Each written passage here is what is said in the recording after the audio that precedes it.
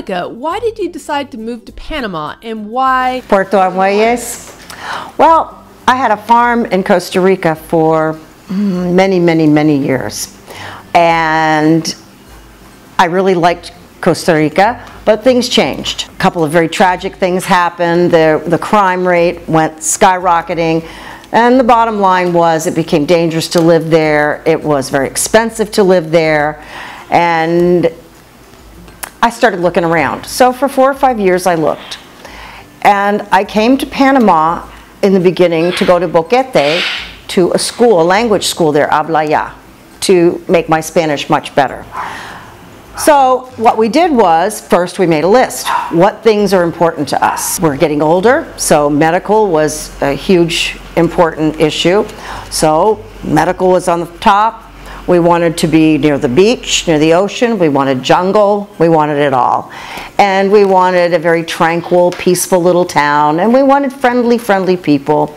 And we didn't want to get caught up in the American tourista kind of paying big bucks you know, a lot of places are very expensive to live in if you want to live well. So we um, made our list, drew a couple of circles on maps, and we came here. I had been to Boquete for a few months. I, I stayed there while I went to school. And I like Boquete, however, for me, it's too cold and I don't like the raininess. To me, that's, and it wasn't near enough to the ocean. And we started looking around and I, I happened to see Puerto on the map. And people didn't have a lot of things to say about it, but you never know till you go look. and so we drove down. One trip we came here, we were going to spend three months driving around, getting to see all the places up close and personal. We, we liked some other areas as well. So we got as far as Puerto Armuelles and stayed at the Tsunami Inn. And um, we stayed and we stayed and we stayed. We met nice people, uh, did land, and it fit all the criteria. So this is home.